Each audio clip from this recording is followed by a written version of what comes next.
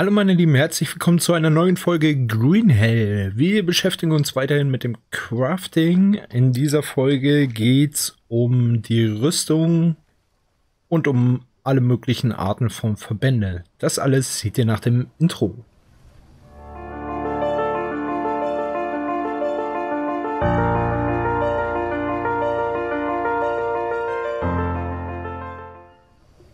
So, und da sind wir schon wieder immer noch am äh, Fishing Dock.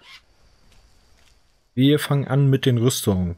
Die Rüstungen sind relativ simpel, schützen euch in gewissem Maße äh, vor Angriffen und Verwundungen. Wenn ihr euch zum Beispiel mit Eingeborenen anlegt. Was wir als allererstes brauchen, sind Bananenblätter. Eigentlich hatte ich hier irgendwo welche. Hallo Bananenblätter. Aber macht nichts, suchen uns neue. Alles halb so wild. Nehmen wir die hier.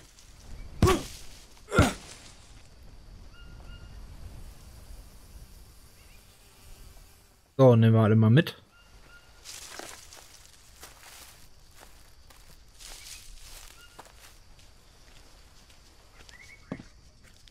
Und dann gehen wir hier in die Ecke. Zack. So, die erste und einfachste Rüstung äh, ist mit, ah, andersrum stellen, einem einfachen Bananenblatt und zwei Seilen. Dann kriegen wir nämlich die Blätterrüstung daraus erstellen. Haben wir. Das ist die einfachste Variante, die ihr relativ schnell am Anfang herstellen könnt. Leeren findet ihr überall. Bananenblätter sind eigentlich auch recht häufig vorhanden. Ja. Für die nächste Rüstung brauchen wir Stöcker. Zwar drei Stück. Ist eigentlich auch noch relativ schnell herzustellen am Anfang. Äh, wir brauchen wieder unser Bananenblatt. Brauchen unsere zwei Lianen. Und wir brauchen unsere Stöcker. Eins, zwei, drei. Daraus kriegen wir dann die Stockrüstung.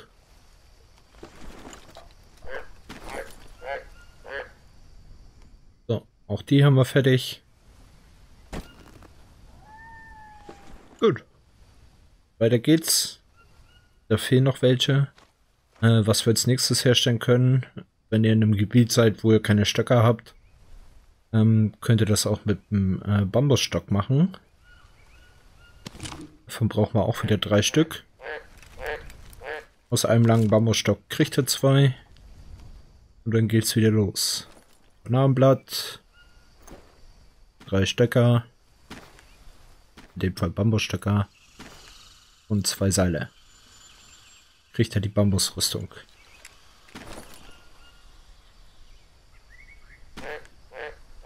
Zack. Schon Nummer drei. Für die nächste Möglichkeit brauchen wir Knochen. Die habe ich hier einfach mal willenlos abgelegt.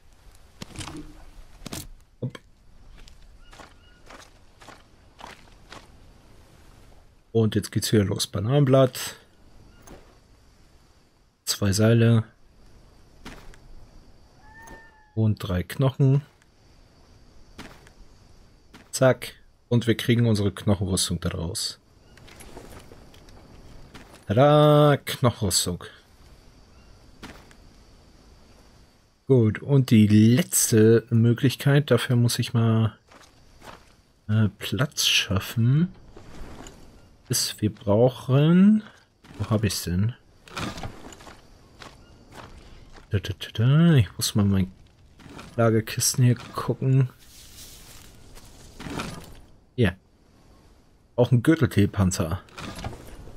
So, wenn ihr äh, für alle eure Extremitäten die herstellen wollt, braucht ihr natürlich vier Gürteltee-Panzer. Das ist nämlich die Gürteltierrüstung. Wir brauchen ein Bananenblatt, ein Gürteltierpanzer und wieder zwei Seile. Also die Grundtaktik ist immer ein Bananenblatt und zwei Seile und dann entweder drei Sachen dazu, wenn wir hier Stöcker, Knochen oder halt auch die Metallrüstung, die seht ihr im Übrigen in dem anderen Video, ähm, wo ich mich über die Metallgegenstände äh, auslasse. Ähm, oder halt ein Bananenblatt, zwei Seile und ein Teil beim Gürteltierpanzer. Zack. Das sind sie auch schon. Alle fünf. Knochenrüstung, Blätterrüstung, Armusrüstung, Stockrüstung und die Gürteltierrüstung.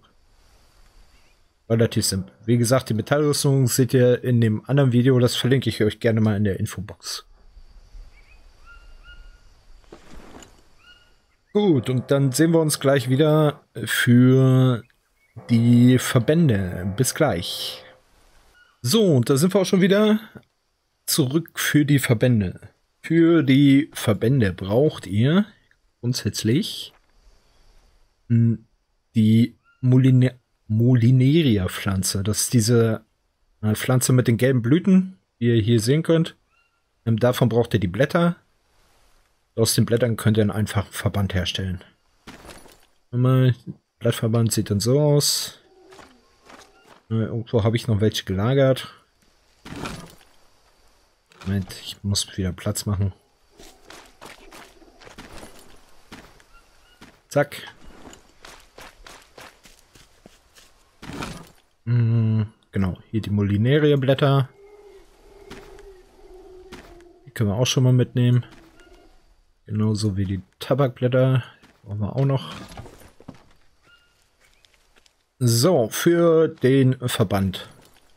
Geht er einfach auf ein so Molinaria-Blatt. Molineria-Blatt. Gott.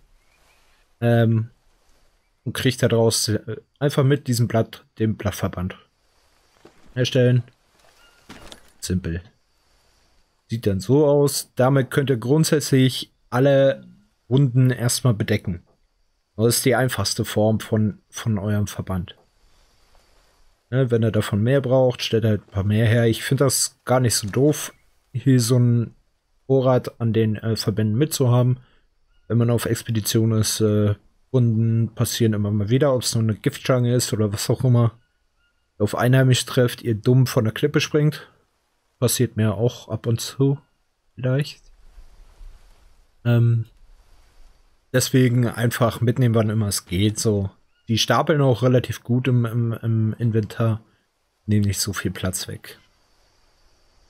Gut, die äh, zweite äh, Verbandsform, die wir dann jetzt gleich machen, ähm, ist als erstes mal der, der Tabakverband.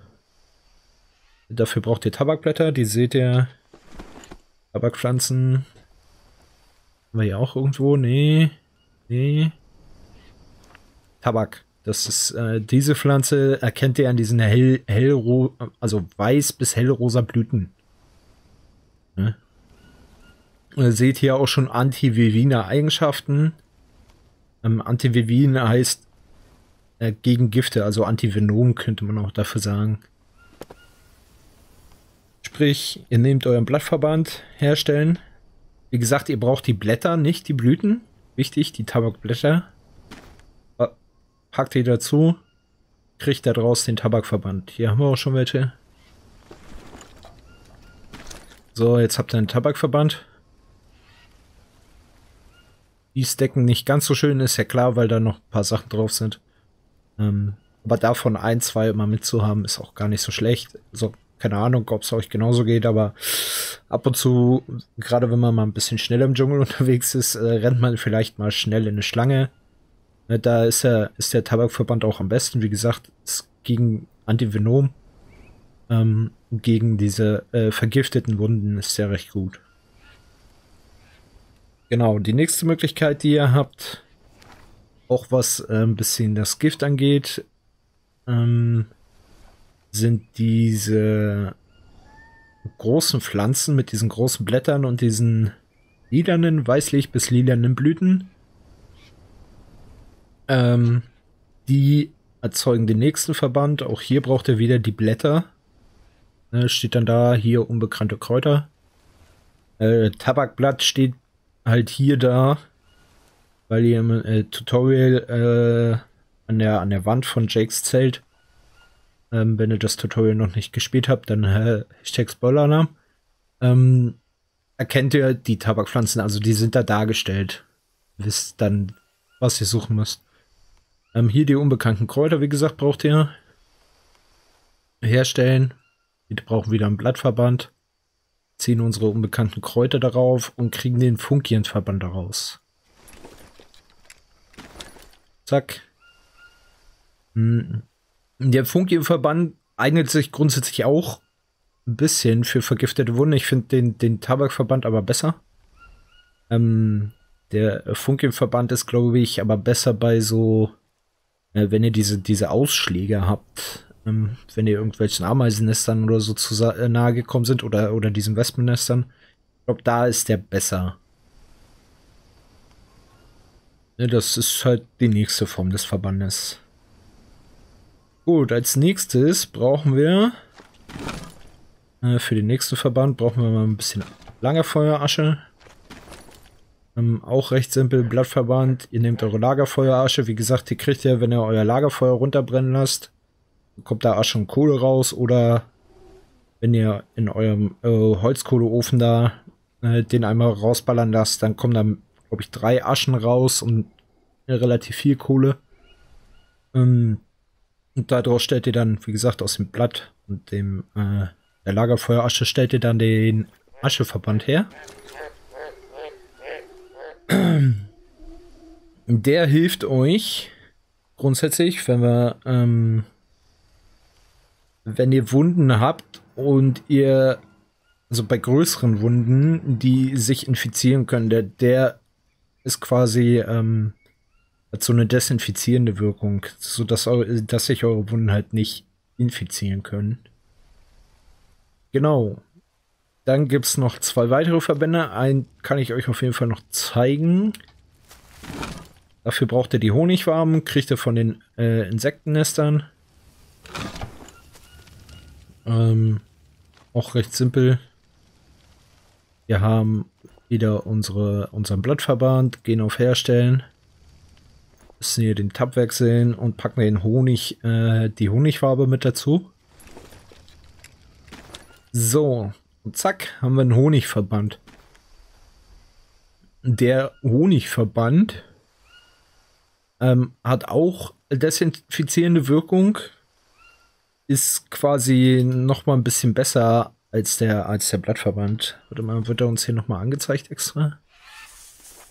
Äh, Pflanzen müsste uns Honig hier angezeigt werden. Genau. Desinfizierend gesagt, gegen die infizierten Wunden, also um dem vorzubeugen. Ist auch wieder ein Antiseptikum und Antihistaminikum sowie ähm, der, der Funkienverband. Also antiseptisch ist halt, um eine Wundinfektion vorzubeugen. Ähm, Antihistaminikum heißt, ihr könnt den auch wieder auf diese, diese Insekten, auf den Ausschlag rauflegen. So. Haben wir das? Genau. Äh, Wundinfektion. Wenn eure Wunde infiziert ist, äh, bringt euch äh, der Verband, glaube ich, erstmal nichts. Sondern ihr müsst die ähm, Wunde erstmal, also wenn sie wirklich infiziert ist, äh, müsst ihr die erstmal von Maden auffressen lassen. Ja, Maden. Ähm, und dann könnt ihr ähm, das tote Gewebe entfernen und dann hinterher den Verband draufklatschen. Äh, vergiftete Wunde. Ich. Oh, ich hatte hier noch nie einen Ausschlag. Das ist natürlich schade. Gut, aber ihr seht dann, wenn ihr den Ausschlag einmal hattet, der in eurem Speicherstand, äh, seht ihr das hier in eurem Tagebuch. Gut, ich habe gesagt, es gibt noch zwei Verbände. Einen hatte ich euch jetzt gezeigt. Das heißt, es bleibt theoretisch noch einer über. Äh, den kann ich euch leider Gottes nicht zeigen. Der letzte ist der äh, Riesenspinnenverband. Also diese, diese, äh, äh, Goliath Vogelspinne. Wie das Vieh heißt. Ähm, wenn ihr die getötet habt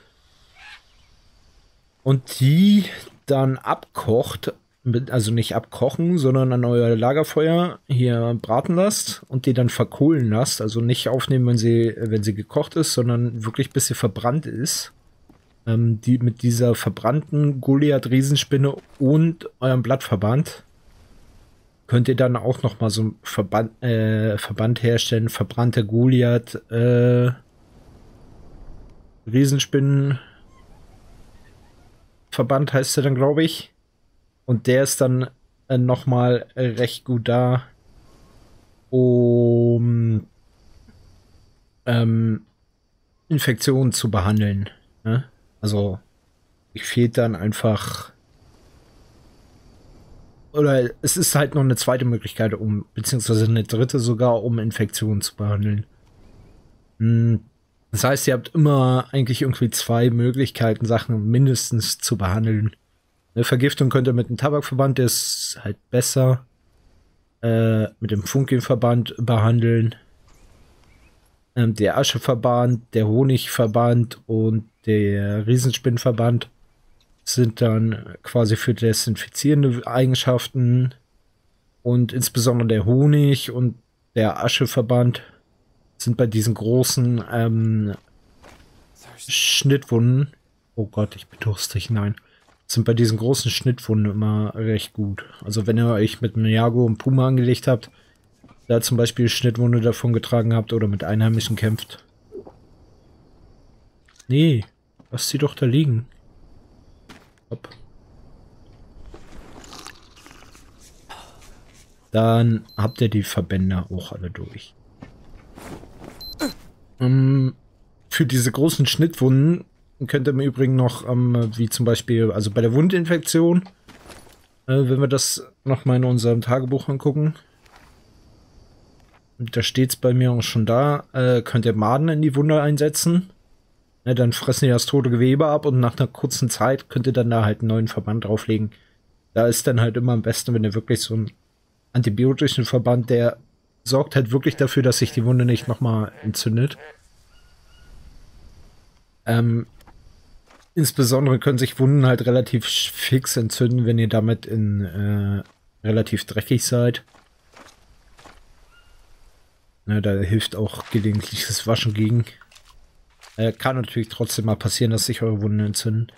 Ähm, genau, da könnt ihr halt Mahnen draufsetzen auf das infizierte Fleisch und bei diesen großen Schnittwunden äh, könnt ihr Ameisen ransetzen, die diese Schnittwunden dann quasi mit ihrer Säure irgendwie zumachen.